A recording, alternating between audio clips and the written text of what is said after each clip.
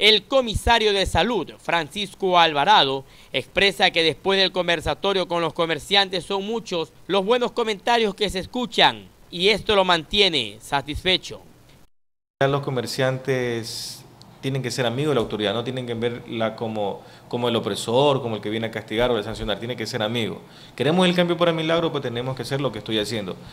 Repito, nuevamente los comerciantes han visto con buenos ojos y me gustaría que vayas a la calle y le, de la fuente directa de ellos, si estuvo o está bien o mal lo que estoy haciendo.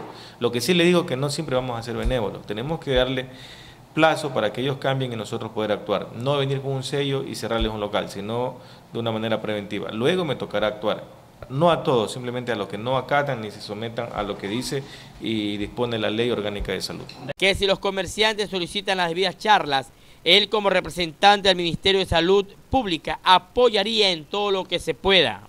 Bien, eh, como le digo, la primera etapa la hicimos, que es la convocatoria de todos los comerciantes para que personal especializado, técnicos en alimentos, les enseñen de una manera didáctica cómo deben vender sus productos.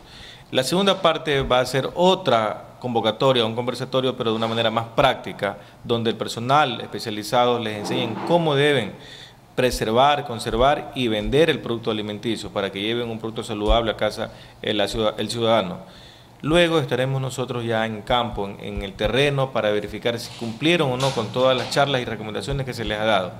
Si es que ya no cumplen con todo eso, pues nosotros como autoridad de salud pondremos las sanciones correspondientes, sin olvidar y sin que olviden los comerciantes que es la clausura provisional y hasta definitiva del establecimiento. Que los controles se seguirán realizando, expresa Alvarado, pues los mismos han dado buenos frutos, expresa.